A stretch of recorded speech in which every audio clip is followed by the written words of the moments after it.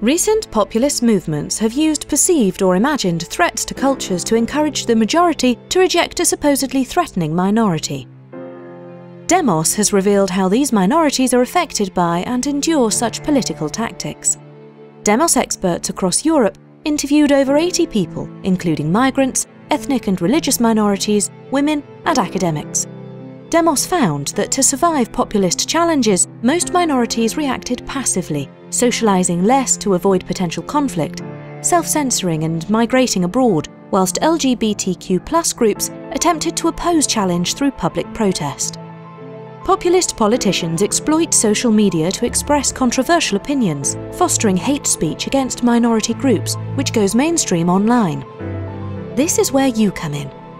Social media literacy is key to helping citizens identify and report hate speech, Everyone has the power to prevent these social media posts from reaching others.